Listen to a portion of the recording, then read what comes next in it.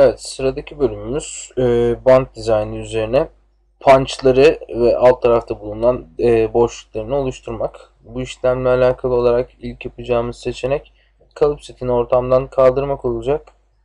View Manager komutu bize bu noktada yardımcı olabilir. Komut aslında bakacak olursanız Assembly Navigator mantığıyla çalışıyor. E, fakat Assembly Navigator'da tüm montaj bileşenlerini görüyorsunuz. Burada kalıp seti veya kalıp tasarımı e, parçalar eklendikçe, bileşenler eklendikçe buradaki listenin karmaşıklaştığını ve kontrolünün zorlaştığını söyleyebiliriz. Bunun önüne geçmek için View Manager Browser kullanılabilir. Buradaki seçenekler zaten ana gruplandırmayı karşımıza çıkartacaktır. Örneğin Upper Place dediği seçenek ile tüm plakalar kaldırılabilir. Üst plakalar. Screw dediğim zaman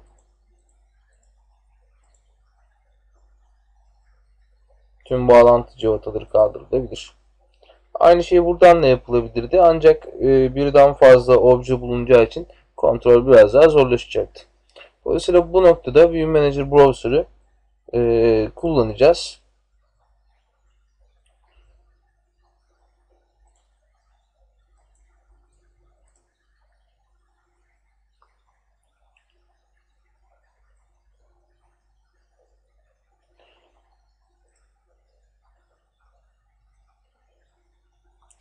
Die Design Settings genel ayarları yapabileceğiniz bölümdür.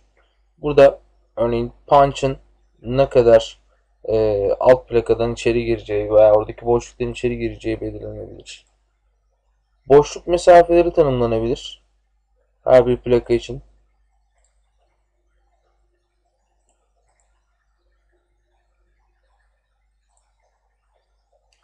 Standart açılar, standart boylar.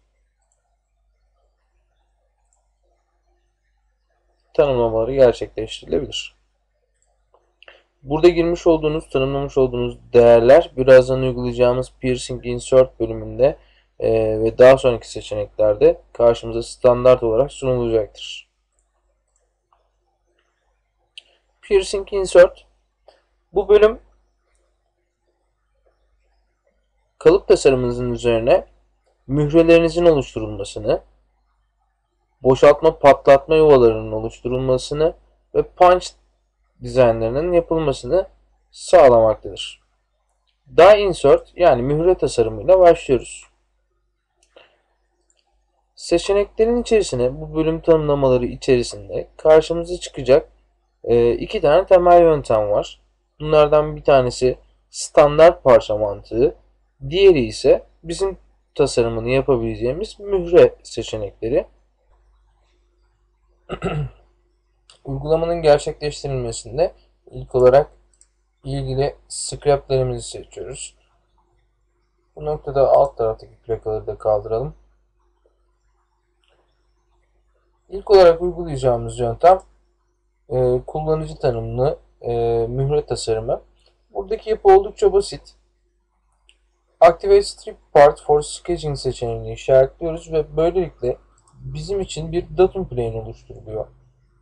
Hemen bandın alt tarafına. Sketch açılacak düzlem olarak da bu bize verilen datum plane tanımlanabilir. Bu işlemin ardından yapılması gereken işlem ifade istediğiniz, dilediğiniz mühre e, tasarımını gerçekleştirmek olacak. 80 120 gibi.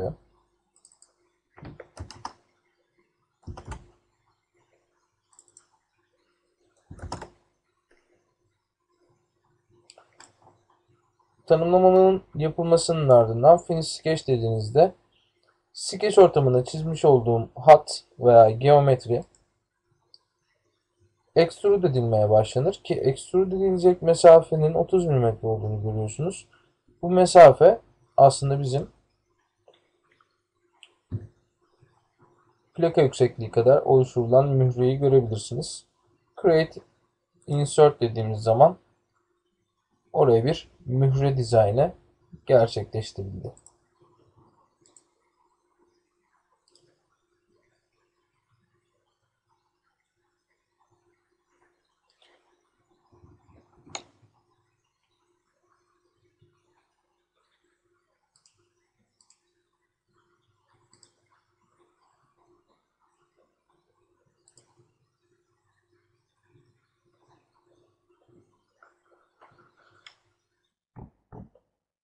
Piercing insert'ün içerisinde bir diğer seçeneğimiz standart insert sekmesi.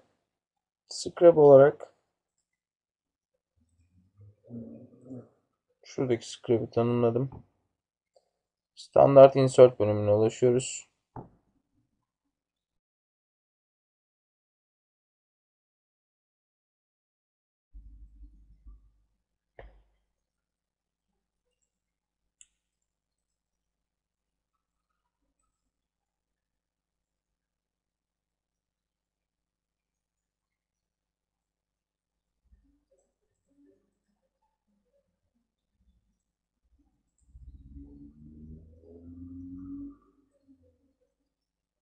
Standart bir e, mührenin oraya konumlandırıldığını inceleyebilirsiniz.